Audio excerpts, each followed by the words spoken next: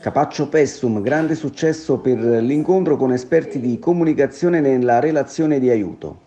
Sabato 3 dicembre 2022 alle ore 18 presso la sala aerica di Capaccio Pessum si è tenuto il convegno La comunicazione nella relazione di aiuto, rivolto a genitori, sociologi, psicologi, pedagogisti, assistenti sociali, educatori, insegnanti, operatori del terzo settore e giornalisti.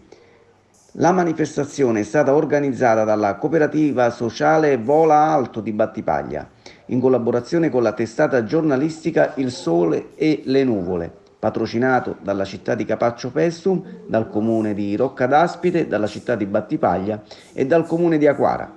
Dopo l'introduzione del presidente di Vola Alto ed editore del Sole e le Nuvole, Maria Carmela Morra, e i saluti istituzionali della vice sindaca del comune di Capaccio Pessum, Maria Antonietta Di Filippo, del sindaco di Roscadaspite Gabriele Giuliano e del sindaco di Aquara Antonio Marino, sono stati affrontati temi legati al convegno, a partire dall'empatia e dall'ascolto. Ad occuparsene è stata la psicologa, poetessa e formatrice PNL Gabriella Bellissimo.